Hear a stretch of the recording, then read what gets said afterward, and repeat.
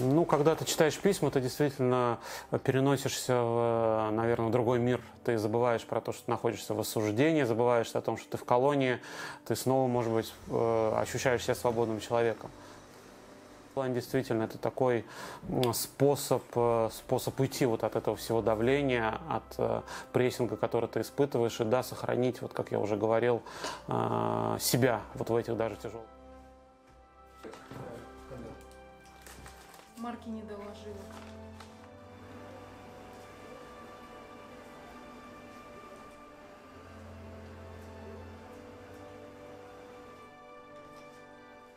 себя это делаю. Я делаю это для того, что вот творится в России вот это вот все. Ну, хоть что-то. Я не могу выйти с пикетом. У меня пожилые родственники в Москве. Я не могу, э, ну, не знаю, там, у Кремля постоять с плакатом, да. Я не могу это сделать.